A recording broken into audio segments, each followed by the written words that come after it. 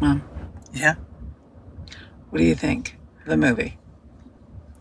I think the movie is great. Which movie are you talking about? Renowned philanthropist and art collector Aggie Gund stunned the art world when she sold Masterpiece by Roy Lichtenstein for $165 million in July and used the proceeds to start the Art for Justice Fund to combat mass incarceration.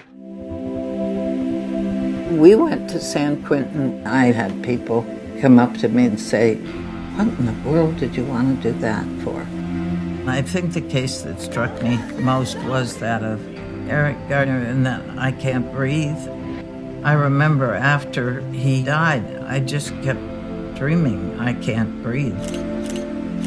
Aggie understands that art makes it possible for us to have empathy, and that without empathy, there is no justice. You have conjoined these two things justice working through the arts.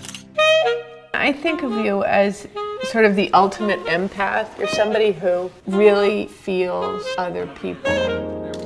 Oh, that's wonderful.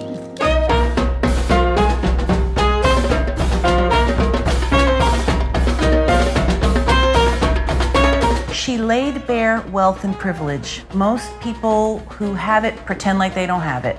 And she said, I have this. And I want it to go to work. I want it to be so much bigger than one painting. So I made questions today. Why do you collect? Have you ever cried in front of an artwork? Do you want any of your grandchildren to be artists? What is love? Were you close with your mother? Why aren't you a typical lady from Ohio? How many of these conversations have you done? What do you think you're going to do when you're grown up? The giant question of life. I heard you had sex with every artist that you collect. Is that true? Wouldn't that have been fun?